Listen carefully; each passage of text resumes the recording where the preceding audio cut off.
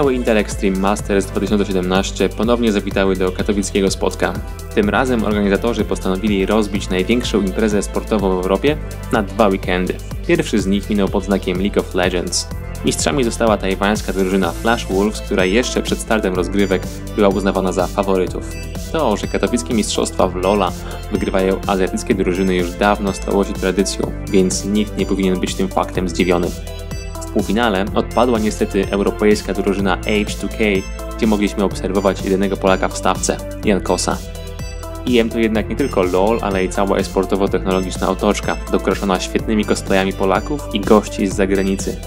Widzieliśmy postaci z Mortal Kombat, LOLa, ale także gry o Tron, Deadpoola i Batmana.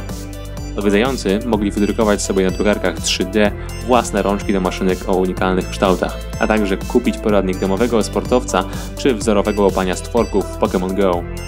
Nie zabrakło multum stoisk z grami i sprzętem dla graczy.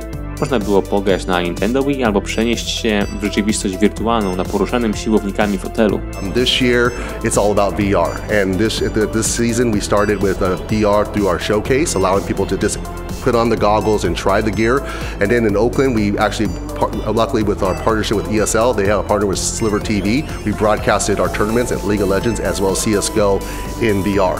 As now in Poland, we're doing the same thing, but we're taking the next step where we have viewing stations. So people in the International Convention Center that aren't in the spotting, they can watch our tournament in VR maybe for the first time in their lives.